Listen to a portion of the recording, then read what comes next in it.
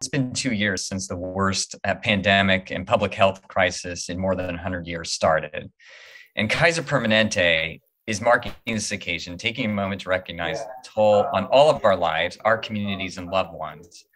And we do recognize that almost 1 million people in the United States have died from COVID 19. Uh, I arrived at Kaiser on uh, April the 9th of, of 2020, and that evening was put on the ventilator. Um, it saved my life. Uh, the people at Kaiser, the doctors, the nurses were just um, fantastic all the way through the process. I was uh, intubated, and for 10 days, I was in a medically induced coma.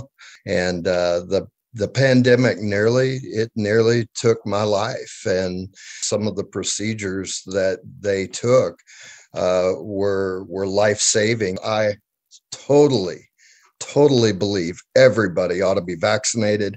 I am vaccinated now even though i have a lot of immunity uh, i i just i never want anyone to go through what i went through